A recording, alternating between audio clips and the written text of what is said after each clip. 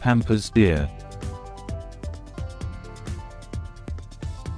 They can be found in South America. Most are found around Brazil.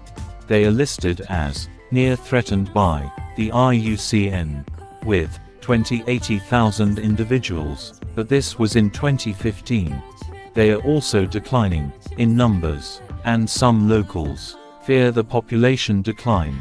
This is due to habitat loss, overhunting, livestock spreading, illnesses, wild dogs and more.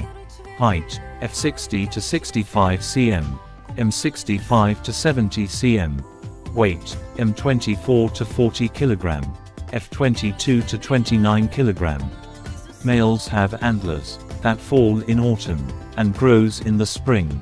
They only usually get three times. They are yellowish, brown with white around the eyes, lips and under the tail, and a have a dark line from the nose to the mouth. They may feed on shoots, leaves, twigs and forks.